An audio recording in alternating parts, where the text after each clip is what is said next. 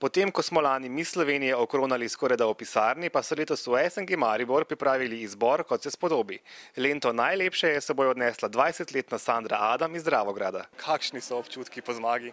Ja, seveda me vsi to sprašujete, občutki so enkratni.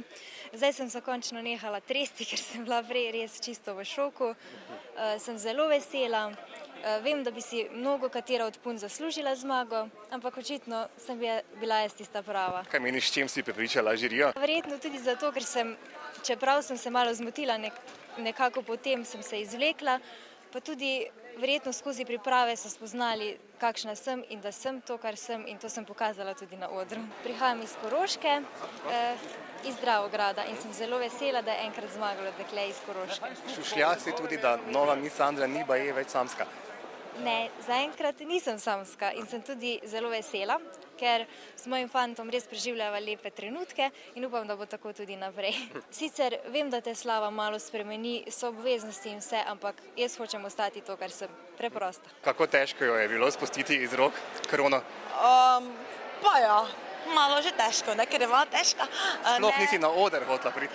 Ne, če pa sem hotla iti, pa so rekli ne še, ne še, ne še. Po pa se reka, nič te še bo malo ostala. Zaželela sem jim vseeno naj na izboru, da če bo karkoli potrebovala, da naj se na mene obrne in da jim z veseljem pomagala. Zakaj se je dejansko splačalo prijaviti se na izbor za mis? Tako bom rekla. Prvo je bilo to, da sem bila dvakrat v Južnoafriški republiki, spoznala sem ogromno misic druge kulture, to je prvo. Drugo je pa, da sem spoznala ljubezen svojega življenja. Pa ne v Afriki. Ne v Afriki, v Sloveniji, ko sem nazaj prišla. Avtorica današnje zmagovalne obleke, kakšna je zgodba za to bleščečo, pompozno opravo? Zelo veliko je ročnega dela, kot ste videli, se zelo blešči na odru, bling, bling zelo, ja, ampak um, ogromno je kristalov, pravih kristalov. Vsekakor sem pa želela zasnovati odrsko obleko. Pa še uskladili ste se. Ja, nekaj sva se kar uskladile. Ja. Kaj vam je bilo na današnjem mariborskem izboru najbolj všeč? Uh, ful dobri škorni so bili, ki so jih dekleta nosile. V preteklosti ste tudi živi večkrat sodelovali kot članica žirije, pa celo kot soorganizatorka izbora.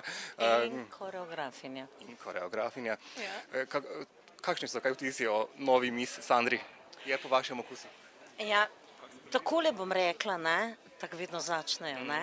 Uh, Ja, ne vem, jaz sem bolj za tole uh, drugo Sandro navijala, ker mi je bila zelo lepo je hodila, uh, lepo telo je imela uh, in v glavnem, ne vem, že takoj v štartu, v prvem izhodu mi je padla v oči, tako da bi in tudi, če je publika dala svoj glas, da je kao po njihovem izboru najlepša, potem takem sigurno ima publika drugačen, ne vem, okus, kakor pa žirija.